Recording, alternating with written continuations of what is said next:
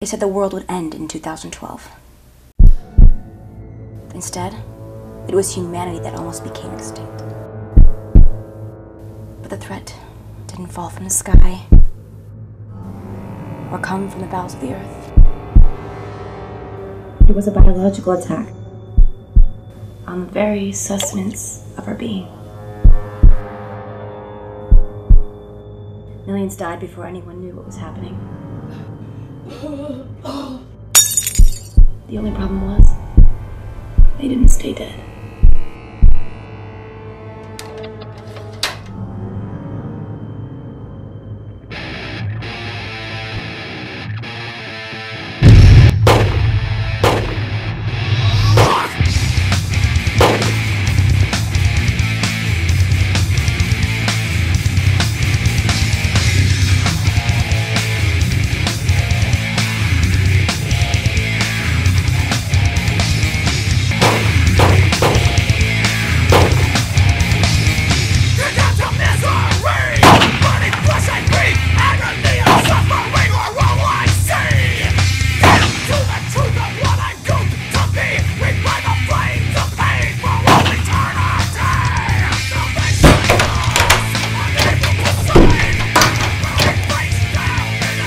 Over.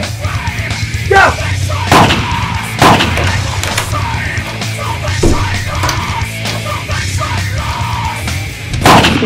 Most communications are down. Our requests for backup from armed forces have gone unanswered. The whole situation Listen, lady. I have a job to do, We do not advise you to leave your homes. Please remain indoors. We would encourage you to barricade all doors and windows and remain calm.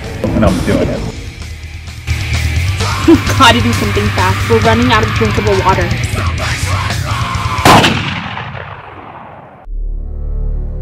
In 2013, survivors are the apocalypse.